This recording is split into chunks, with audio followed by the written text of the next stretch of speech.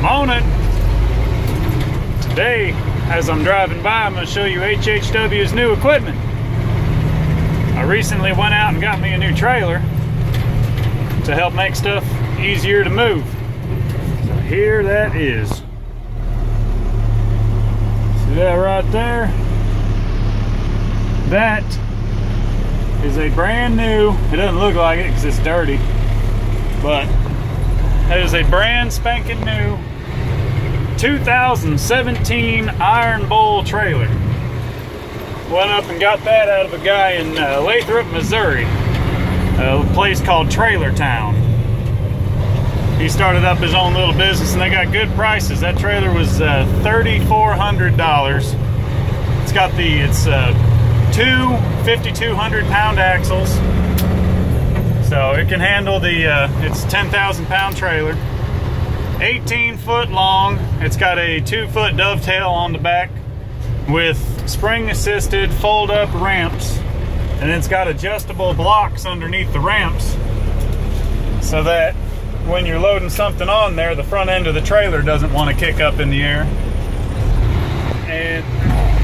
Uh, but on there, I can fit easily two cords worth of wood stacked and all, and then still have room left over to put another cord and a half, or I can uh, take up that room and use it for restock material if I'm if I have some uh, wood on there, and then I go find more wood that I want to bring back to the back to the house to split.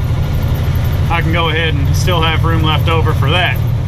So instead of going out and making four or five different trips filling up the back of the truck to bring back to the house, I can now load up one trailer load and bring it back.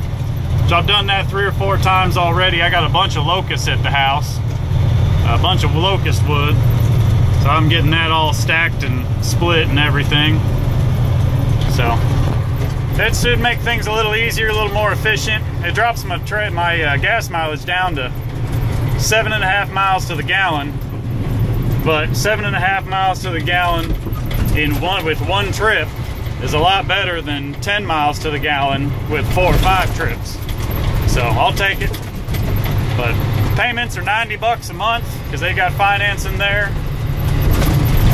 And it'll be a good deal. They've got ones with the slide-in uh, stowable ramps but I figured for a hundred bucks more, I can get the assisted spring fold-up ramps.